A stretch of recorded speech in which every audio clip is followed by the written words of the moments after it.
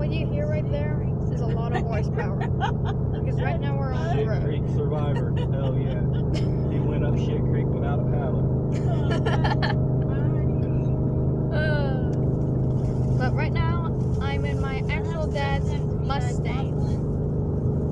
We are traveling down the road. It's beautiful.